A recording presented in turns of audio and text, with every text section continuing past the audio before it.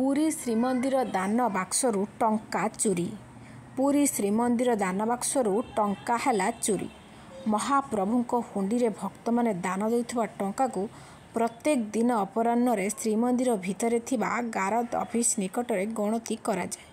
କିନ୍ତୁ ଏହି ସମୟରେ ଶ୍ରୀମନ୍ଦିରର ଜଣେ ବରିଷ୍ଠ ପ୍ରଶାସନିକ ଅଧିକାରୀ ଉପସ୍ଥିତ ରୁହନ୍ତି। ତାଙ୍କ ସମ୍ମୁଖରେ ଶ୍ରୀମନ୍ଦିର ପ୍ରଶାସନ କାର୍ଯ୍ୟାଳୟର କର୍ମଚାରୀ ଟଙ୍କା ଗଣିଥାନ୍ତି। ଶନିବାର ଟଙ୍କା ଗଣତି କାର୍ଯ୍ୟରେ ଅଭିଯୁକ୍ତ ସୁଶାନ୍ତ ନିୟୋଜିତ ଥିଲେ। ଅପରାହ୍ନ ଚାରିଟାରୁ ଟଙ୍କାଗଣା ଆରମ୍ଭ ହୋଇଥିଲା। କିନ୍ତୁ ଚାରିଟା ତେଇଶ ମିନିଟ୍ ସମୟରେ ସେ ହଠାତ୍ ଉଠି ପଳାଇଥିଲେ। ଏହା ଦେଖି ସେଠାରେ ଉପସ୍ଥିତ ଥିବା ନୃସିଂହପ୍ରସାଦ ପ୍ରତିହାରୀ ଜେଟିପିଙ୍କର ସନ୍ଦେହ ହୋଇଥିଲା। ଆଉ ଏହାପରେ ସେମାନେ ଶାଖା କାର୍ଯ୍ୟାଳୟକୁ ଆସି ଶ୍ରୀମନ୍ଦିର ସୁପରଭାଇଜର ବକ୍ସିରାମଚନ୍ଦ୍ର ପ୍ରତିହାରୀଙ୍କୁ ଜଣାଇଥିଲେ। ଆଉ ଏହାପରେ ସିସିଟିଭି ଫୁଟେଜ୍ ଯାଞ୍ଚ କରାଯାଇଥିଲା।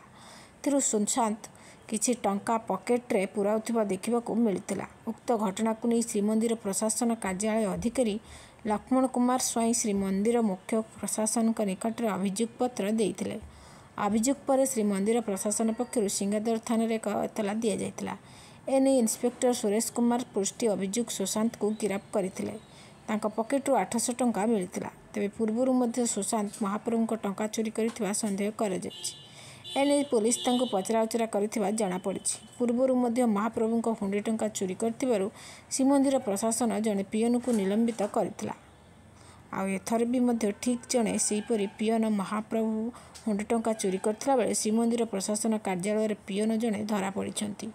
ପିଅନକୁ ହିଁ ଗିରଫ କରିଛି ପୋଲିସ।